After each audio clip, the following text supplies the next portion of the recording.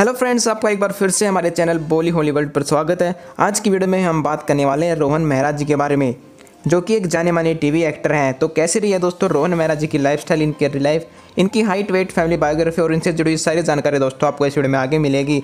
तो अगर आप इनके फ़ैन हैं तो इस वीडियो को एंड तक देखें और लाइक करना ना भूलें। शुरुआत करते हैं दोस्तों इनके रियल नेम से। इनका रियल नेम है रोहन मेहरा। बात करें प्रोफेशन की तो प्रोफेशन से ये एक एक्टर है। इनका सबसे फ़ेमस किरदार रहा है दोस्तों नक्श का, जो कि उन्होंने स्टार प्लस के सीरियल ये रिश्ता क्या कहलाता है में निभाया था। इसके साथ ही इनके बर्थ डिटेल के बारे में बात करें तो इनका जन्म हुआ था 8 अप्रैल साल 1990 को अमृतसर, पंजाब में।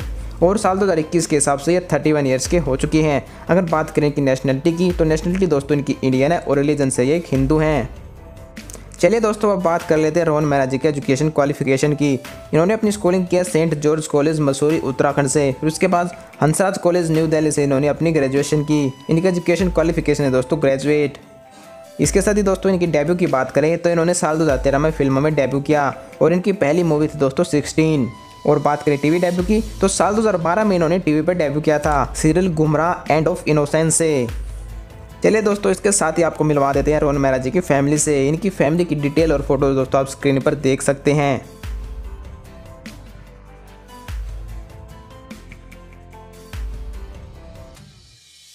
बात करें दोस्तों, रोहन मेहरा जी की हॉबीज़ के बारे में तो इनकी हॉबीज़ है ट्रैवलिंग और डांसिंग इसके साथ ही अगर इनकी फेवरेट चीज़ों के बारे में जाने तो इनका फेवरेट फ़ूड है दोस्तों बटर चिकन इनके फेवरेट एक्टर सलमान खान है और फेवरेट एक्ट्रेस है दीपिका पादुकोण। चलिए दोस्तों, अब बात कर लेते हैं रोहन मेहरा जी के करियर के बारे में। लेकिन उससे पहले दोस्तों, हम आपको रोहन मेहरा जी के बारे में एक खास बात बताते हैं।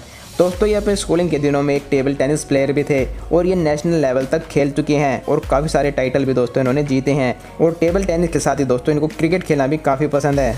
अब बात कर लेते हैं इनके एक्टिंग करियर की। जैसा कि हमने आपको पहले बताया, साल 2012 में इन्होंने टीवी पर डेब्यू किया था। Channel V India's crime drama Gumrah से। जिसके अगले साल, यानी साल 2013 में इन्होंने सोनी के सीरियल बड़े अच्छे लगते हैं में काम किया, जिसमें इन्होंने वरुण अश्विन खन्ना का किरदार निभाया था। लेकिन दोस्तों, इनको सबसे ज़्यादा पॉपुलरिटी मिली है स्टार प्लस के सीरियल ये रिश्ता क्या कहलाता है ऐसे, जिसमें इन्होंने नक्श का किरदार निभाया था।